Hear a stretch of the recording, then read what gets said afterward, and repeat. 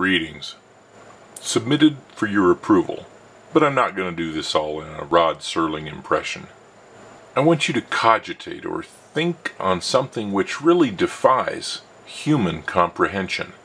Consider for the moment that there's a divine being, this God, who exists outside the universe that we call space-time. Oh, we toss about the words infinity and eternal, impressed that they convey a limitless quantity of, for example, time.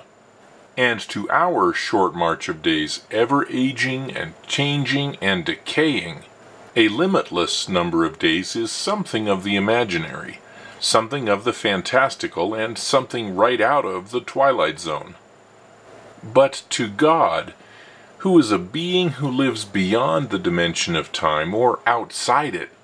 Ascribing age or passage of time really is as foreign as us imagining we lived in only two physical dimensions, with no up nor down.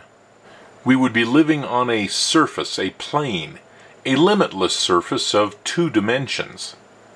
Only left and right, forward and back, and the infinite angular continuum between as we rotate around our center.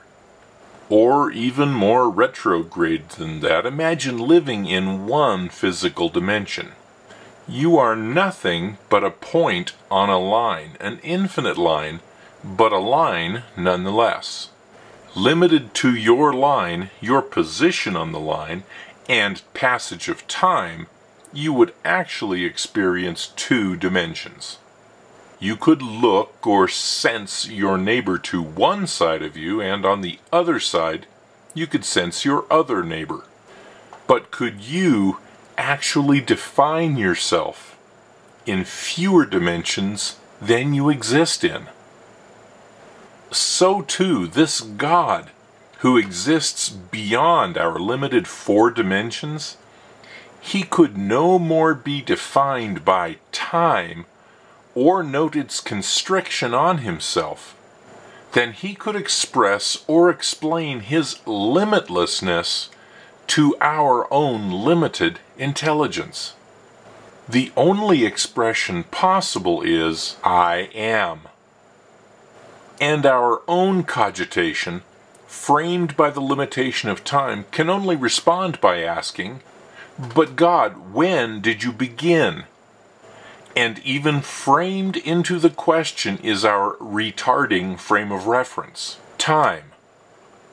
For the word begin and beginning both bow to the limitation of time, of one instant in time before another instant in time.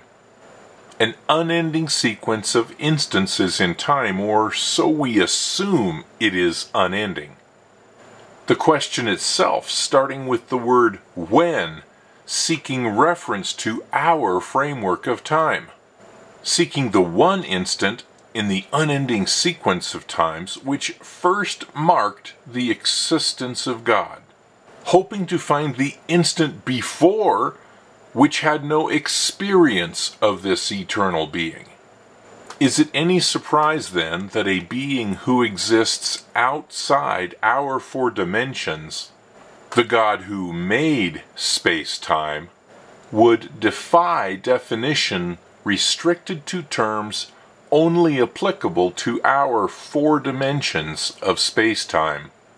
Could an actual deity be defined by definitions fully limited to and consistent within his own creation. It almost seems ludicrous to appeal to human words, framing human concepts and human understanding of this natural world we live in.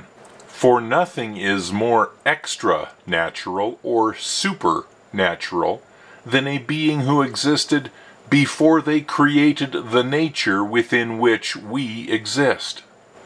Our natural existence is a contrived restriction to His existence.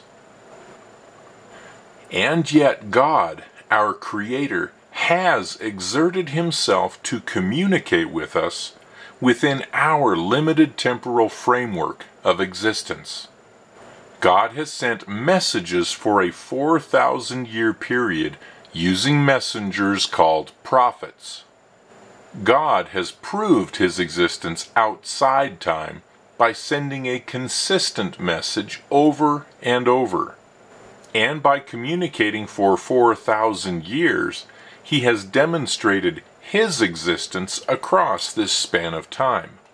This is proof of God's involvement, a consistent message sent by messengers, spanning more time than a man could live to perpetrate a hoax or a fraud.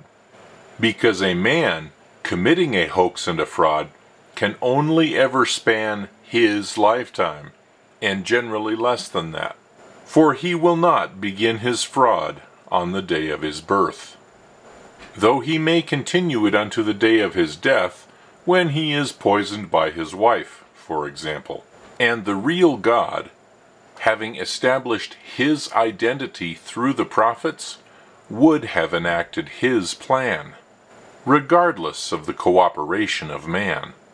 A real God does not depend upon men to cooperate for God to have his way or accomplish his will. Nor does a real God depend upon men to memorize and preserve his message. If God is God, his word is not subject to change by man. Not because some men prevent other men from changing God's word, but because Almighty God is God and is able to impose his will on his creation. In reality, the accusation that the Word of God is corrupted proves the accuser has no faith in God. The claim that God is impotent to send a message and keep a message is a direct contradiction to the concept of an almighty God. Think for but a moment about this insult to God. Do you think God was tricked by men? Think back five minutes ago, describing the God who is beyond time. Do you not know God knows the future? And would know in advance who would make such an attempt? You do not have enough fingers and toes to count the ways God could stop any and every human being from trying to corrupt His Word.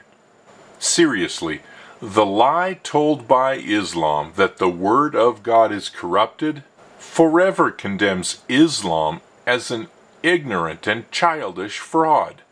If the existence and justification of Islam is predicated on the Word of God being corrupted, the very foundation of Islam is irrational. Consider the following statement God's plan is unstoppable. No man can stop it. No spirit can stop it. And God's plan was revealed by his prophets during his 4,000 years of dealing with man. The question for you, dear viewer, is whether you want the responsibility. Do you want to know the plan of God? Do you really want to know the truth that God has revealed? May the Spirit of God open your eyes to the light, your ears to the truth, and your heart to His Son, the Lord Jesus Christ. Amen.